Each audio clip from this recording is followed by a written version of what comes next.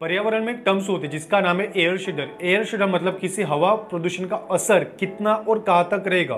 That is called as air shedder इसलिए पहले कहा जा रहा था दिल्ली के बारे में, अगर एयर पोल्यूशन को रोकना है तो मोटर वाहनों पर व्हीकल्स पर सख्त नियम बनाना चाहिए। दैट्स वाई सरकार ने 2021 के बजट में स्क्रैप पॉलिसी भी लागू की। अगर आप स्क्रैप पॉलिसी के बारे में जानना चाहते हो तो वीडियो के बीच में आपको मेरे सर के ऊपर एक लिंक शो हो जाएगी।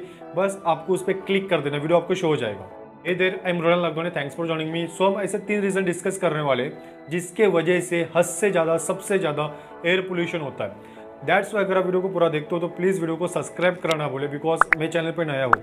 I need viewers I need subscriber तो प्लीज़ अगर आपको वीडियो पूरा पसंद आता है तो वीडियो को सब्सक्राइब कराना बोले चलिए शुरू करते हैं। हमारा फ़र्स्ट रीजन है कोयला।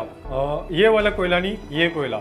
इस समय सबसे ज़्यादा एयर पोल्यूशन कोयले से हो रहा है। बिकॉज़ कोयलों को हम जलाते हैं, जिसका ज़्यादातर इस्तेमाल बिजली तैयार करने के लिए किया जाता है। ये हमारा फ़र्स्ट रीजन है, जिसके वजह से ज़्यादा एयर पोल्यूशन होता है। हमारा सेकंड रीजन है बायोमास बायोमास बोले तो लकड़ी को जलाने से, गोबर को जलाने से वेस्ट मटेरियल या मरे हुए जानवर को जलाने से एनर्जी को प्रोड्यूस किया जाता है, उत्पन्न किया जाता है, पैदा किया जाता है। That is called as biomass हम अपने देश में हर साल 90 करोड़ टन से भी ज़्यादा कोयला और 40 करोड़ टन बायोमास जलाते हैं। जब तक इसका स्रोत घटेगा नहीं एयर पोल्यूशन कम नहीं होगा।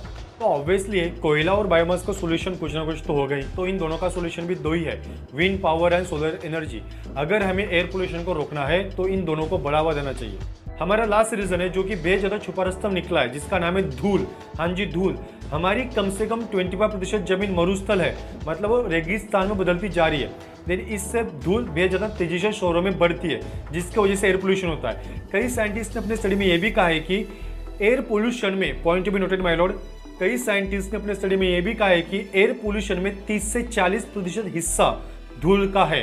तो इसका एक ही सोल्यूशन है, हमें बड़े पैमाने पे बेहद ज़्यादा बड़े पैमाने पे पेड़ लगाना ज़रूरी है। इसलिए हमने बचपन में सुना है झाड़े लावा झाड़े जगवा।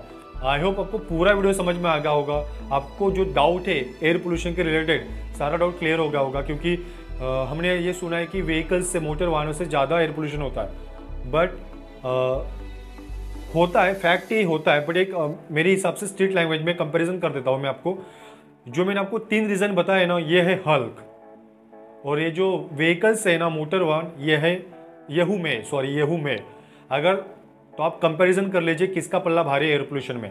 आई होप आपको वीडियो पूरा पसंद आ गया होगा। थैंक यू सो मच पूरा वीडियो देखने के लिए टेक केयर से बाय बाय